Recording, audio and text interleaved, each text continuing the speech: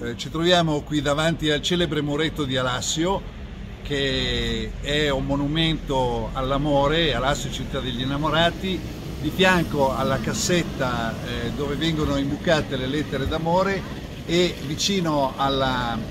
ehm, piastrella che eh, celebra il gemellaggio con Ispra e con l'associazione Amici di Mario Berrino del premio eh, di Ispra.